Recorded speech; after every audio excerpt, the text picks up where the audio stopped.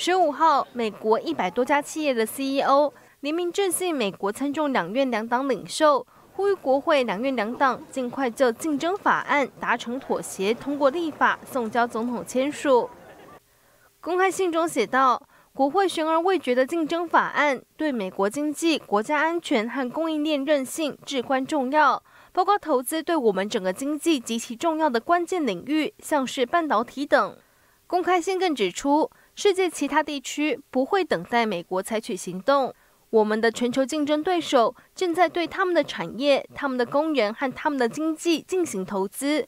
国会必须采取行动，提高美国的竞争力。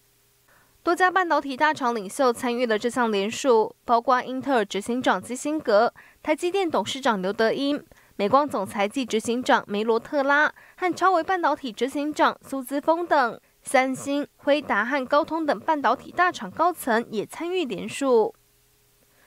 值得注意的是，参与这份公开信的企业来自多个领域，包括航太、国防、软体、通讯、消费性电子产品、电商、电机、汽车、运输、金融和医疗等。